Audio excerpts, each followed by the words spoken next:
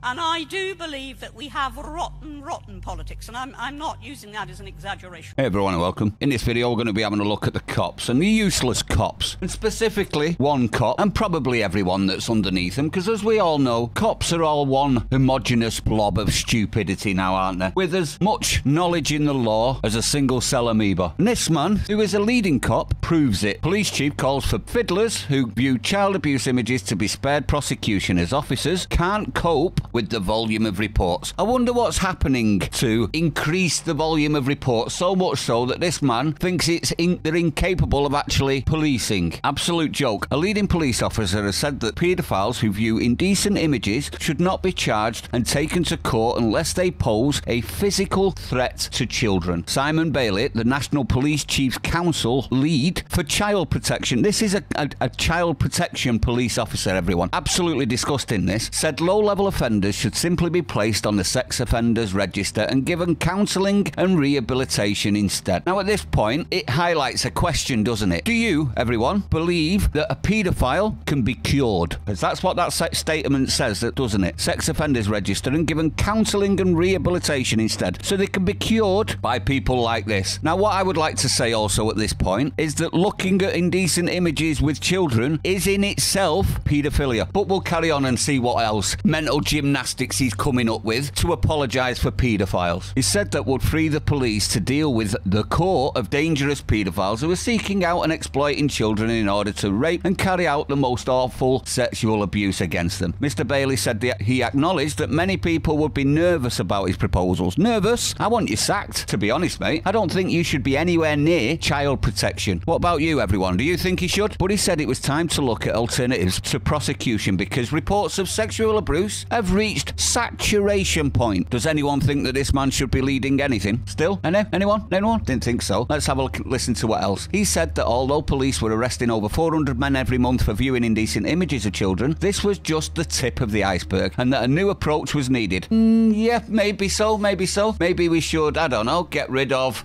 foreign paedophiles. That might be a start, considering we've seen in the past, haven't we, actual kiddie fiddlers being taken off flights because of humanitarian reasons. Their humanity matters, but the children's doesn't. We're able to ass assess whether a paedophile viewing indecent images of children is posing a threat of contact abuse. Can I just say something at this point? I'd like to put a break on this. If you are looking at indecent images, you are facilitating indecent images. If you weren't looking, there would be no market, and if there was no market, there wouldn't be a child on those images being abused. This is a disgusting apologism, in my honest opinion, by a top cop that's supposed to be looking after children children, and we wonder why we've had so many grooming incidents and stuff like that not being reported. I wonder why. And in circumstances where that individual does not oppose a threat of contact abuse, they should still be arrested, but we can then look at different proposal orders than going through with formal criminal justice system. So we don't want to treat them as the threat that they are until they've actually done something, and then, then, then, then we'll arrest them. Absolutely disgusting, this, isn't it? Now, apparently, this is the kicker, everyone. Apparently, reports of child abuse have mushroomed 80% in the last three years, with police re receiving an average of 112 complaints a day. There are more than 70,000 complaints into child abuse a year, and police forces are also preparing an estimated 40,000 reports of abuse from independent inquiry into CSA, which began hearing evidence on Monday. We're struggling to maintain the capacity. Maybe you should be more harsh with them and put them in for longer, and then keep them away from, I don't know, children, including the ones that look at the images, because that is just as bad as doing it yourself, paying somebody else to do it. I, am I wrong on that, everyone? Now, this man is an absolute shocking disgrace. If he's supposed to be the National Police Chiefs Council lead for child protection, that tells me that children in his, in his area are not being protected at all. And he's from Norfolk. If you're from Norfolk, everyone, I would be very, very, very worried about your child's safety with this man in charge of looking after them. But what say you? I'd like to know your opinion. Let me know in the comments, everyone. Share this out, hit the like button. You know what to do. Stay sane. I'll see you on the next one.